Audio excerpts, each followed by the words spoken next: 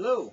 I always thought it'd be fun to put an informational video on YouTube about vintage Fender amps. Over the last couple of years I've collected several and there's not that many video clips of actual vintage amps on YouTube. The, uh, the ones that I've got, uh, the 59 Bandmaster with the 310s or a 1960 Tweed Bassman.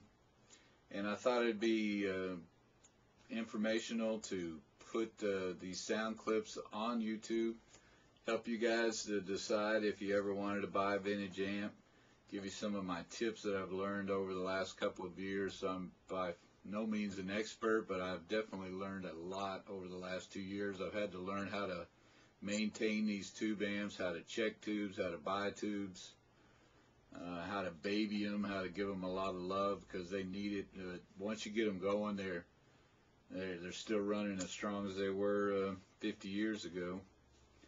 But uh, I just wanted to keep your interest. I'm going to show you uh, the 59 Bandmaster here real quick.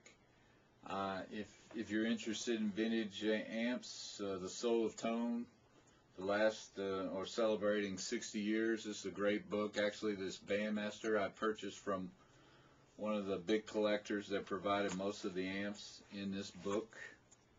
You can see there's a Bassman right there.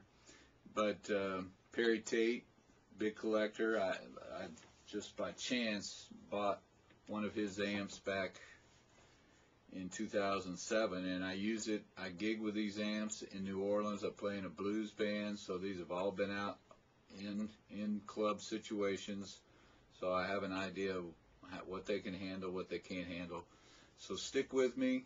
Come back to part one and I'll split it up in probably about four parts but I'll uh, right now I'm going to turn the camera off and I'm going to come back and show you the insides of the 59 Bandmaster